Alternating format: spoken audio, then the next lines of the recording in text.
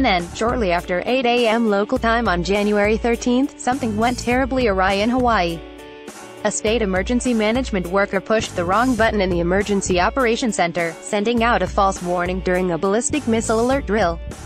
The employee, who has since been fired, thought the attack was real when he sent out the warning, according to a Federal Communications Commission report when it became apparent that the real-world alert was issued. The employee seemed confused, he froze and another employee had to take over his responsibilities, retired Brig.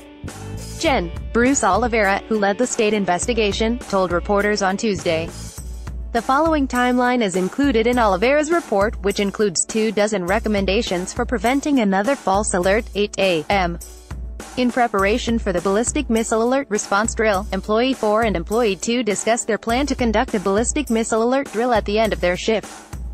Employee 4 prepares a recording of U.S. Pacific Command Ballistic Missile Alert Notification script from the Ballistic Missile Alert Checklist Manual. Employee 4 discusses leaving the state warning point or control area while Employee 2 tells the day shift about the previous shift change drill, 8.03 a.m. The coming day shift enters the room.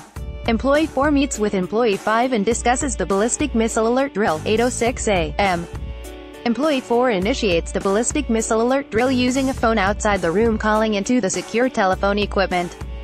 Employee 2 activates the phone speaker. At this time, it is announced loud and clear, exercise, exercise, exercise, and then concludes with exercise, exercise, exercise, which is a normal procedure for all drills, including this ballistic missile alert drill. Both day and night shift begin executing the ballistic missile alert checklist. Employee 2 records the time of the simulated ballistic missile impact. Employee 3 starts the countdown timer. Employee 2 simulates activating the ballistic missile alert whale tone siren and verbally indicates completion of that action, 8.06 a.m. Employee 1 logs into the system and waits for Employee 3's announcement of the simulated siren warning activation. Following the simulated siren announcement, Employee 1 erroneously activates the real-world alert code. There is a drop-down menu that includes Test Missile Alert. This sends message internally to agency. Missile Alert. This sends message to public. Missile Alert is selected. The computer asks to confirm choice. Employee 1 clicks Yes, 8.07 a.m. Personnel in the state warning point begin receiving alert messages on their personal smartphones, 8.07 a.m.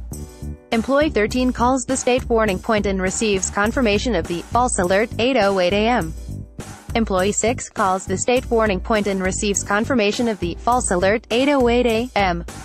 The Adjutant General calls the state warning point and is notified of false alert 8.09 a.m. Employee 6 notifies Employee 11 of false alert confirmation 8.09 a.m.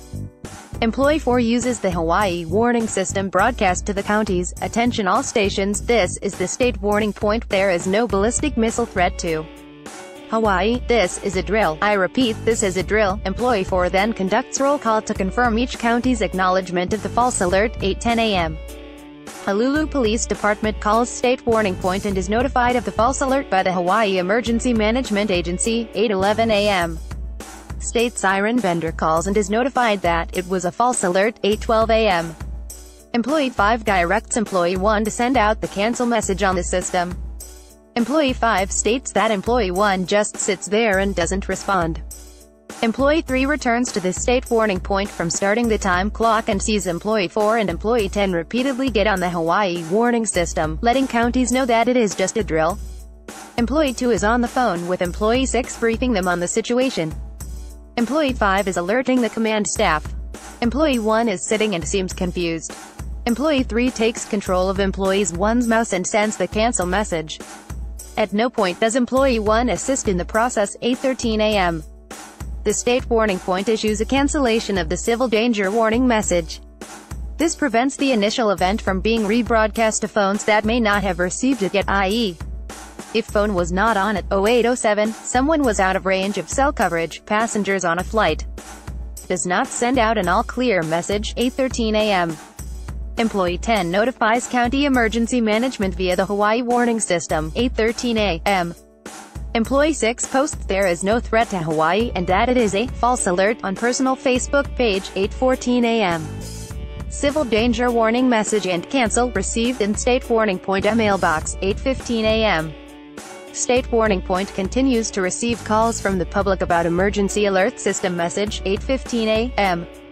Employee 11 notifies an engineer of the false alert, 8.17 a.m. State warning point receives message from Employee 11 about alert message. Employee 11 sends a message to all Hawaii Emergency Management Agency staff that there is no threat, 8.18 a.m.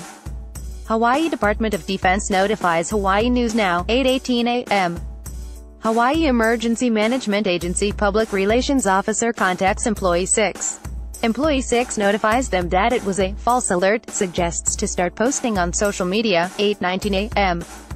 From sources within Hawaii Department of Defense, Hawaii News Now alerts the public that the ballistic missile alert message was mistakenly sent.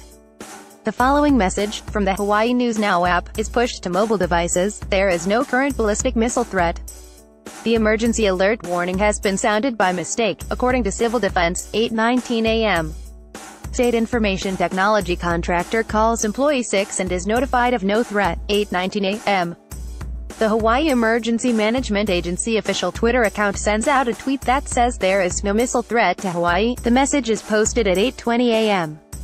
and is only distributed to those who follow at Hawaii. EMA on Twitter, 8.20 a.m. Hawaii Department of Defense notifies station KHON, 8.22 a.m. Hawaii Department of Defense notifies station KITV, 8.22 a.m.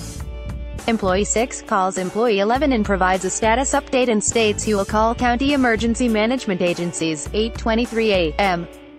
The Hawaii Emergency Management Agency posts to its official Facebook page. No missile threat to Hawaii. False alert. We are currently investigating, 8.24 a.m. Employee 6 notifies Hawaii County Civil Defense of false alert, 8.25 a.m. Employee 6 notifies Maui County Emergency Management of false alert, 8.25 a.m. Olelo Television calls Employee 6, who notifies Olelo that it was a false alert, 8.26 a.m. Employee 6 tries calling Federal Emergency Management Agency. Does not get through, 8.27 a.m. Employee 6 calls Employee 11 to discuss options. Another civil danger warning is not advisable. Decides on a civil emergency message, 8.30 a.m. Employee 6 calls FEMA for advice and FEMA agrees that criteria and guidelines of the event code to send a civil emergency message are met, 8.31 a.m. Employee 6 informs Employee 11 that they are going to send the civil emergency message, 8.32 a.m. State Department of Accounting and General Services calls Employee 6 and is notified of the false alert, 8.32 a.m. Employee 6 remotely logs into the alert system via an encrypted connection, and a civil emergency message is drafted and sent, 8.45 a.m. Civil emergency message false alert message posted. The following action is executed by the Emergency Alert System, Emergency Alert System message over local TV, radio audio broadcast and television crawler banner, false alert. There is no missile threat to Hawaii, false alert. There is no missile threat or danger to the state of Hawaii. Repeat, there is no missile threat or danger to the state of Hawaii. False alert, wireless emergency alert message is sent to cell phones, false alert. There is no missile threat or danger to the state of Hawaii. CNN's Phil Gast and Darren Simon contributed to this report.